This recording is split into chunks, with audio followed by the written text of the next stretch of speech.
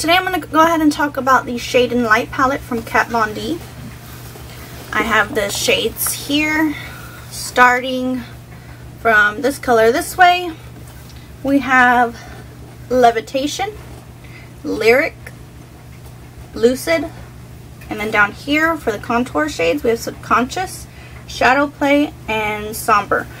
Um, I did show a demo using these today. On my left side I have, what was this? Levitation and Subconscious. Um, I feel like, you can see those here, I feel like they're a more of a warm tone. The highlight shade really did brighten up underneath my eyes a lot more than the yellow toned one that I have on my right side. Um, the contour shade, I feel like if it is very warm, it seems almost like it has a red undertone. And the one in the middle here, it seems very cool tone, which I like better. It gives more of a natural appearance. Um, if you're going to contour, you're going to want something more of a cool undertone. So it looks actually like a shadow and not like if you went in with bronzer and put that on your face. The last two shades here are a little bit dark for me. This color here is really like my skin tone, so it doesn't bright anything, but it's good to use as a setting powder.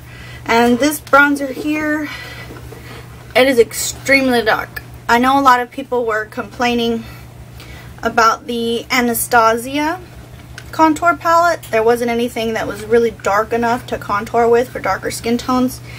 Kat Von D's got you covered. It's extremely dark where you're going to be able to contour with it. And I'll go ahead and include the demo.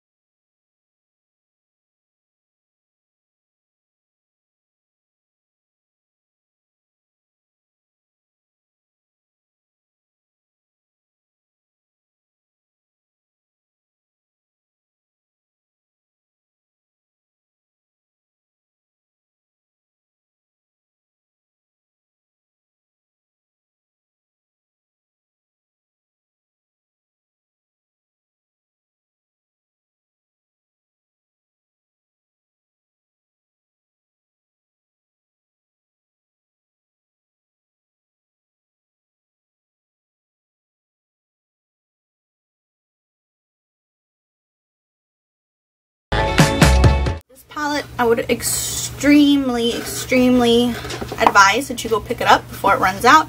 I did pay $46 for this at Sephora.